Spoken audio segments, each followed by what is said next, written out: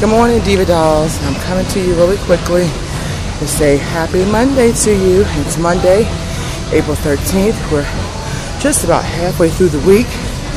I'm back in here in the gym, and as you can tell by the movement of this video, I'm on my best friend, the Cybex. Um, I have nine minutes to go left on this machine. I did my weigh-in this morning. Um, actually up five pounds, and I kind of can kind of knew that I would be, but not five pounds.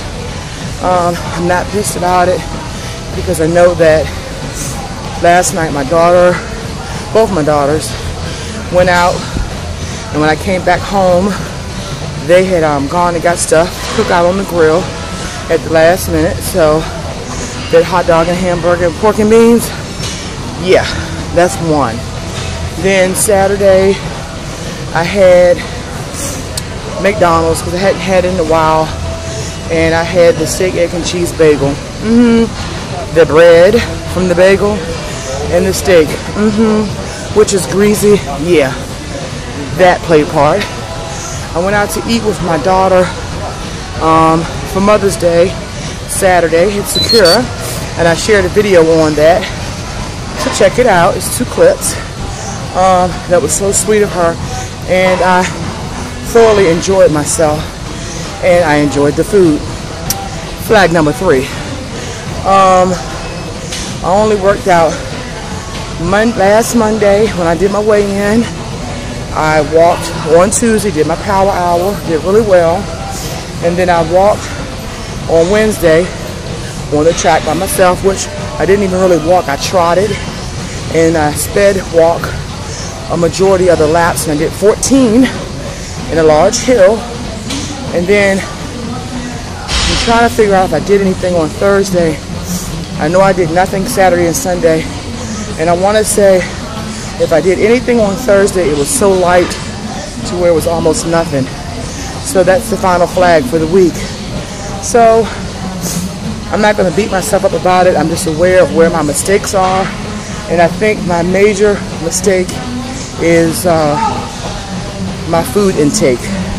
Working out is no problem for me, and um, since working out is not the problem, it's got to be my food intake and my water.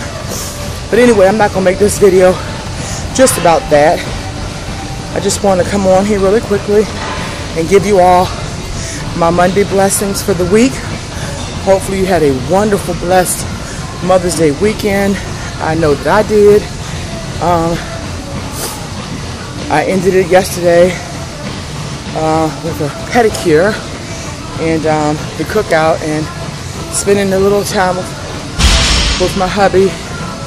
Um, um, I'm not going to go on and on about that, but I had a blessed weekend. So I'm about to finish up my last little bit of my workout and send you off with my blessings for the week. Praying that you have a wonderful one. And um, again, if you follow me on Facebook and Instagram, you'll see outfits of the day, face of the day, if I really get into doing the makeup, um, and a little bit of random here and there from me. So on Instagram, it's Mrs. Jones number one, and on Facebook, it's Tina Lee hyphen Jones. And as you can see, I'm drilling down. I have a little less than six minutes to go.